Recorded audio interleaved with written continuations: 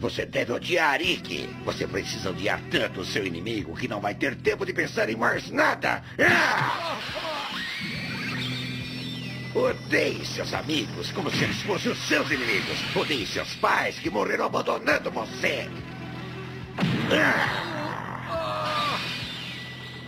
Odeie seu irmão mais jovem porque você teve que se sacrificar. Odeie todos. Odeie o seu mestre quem tanto venera. Sim, sim, odeie a mim. Odeie a mim.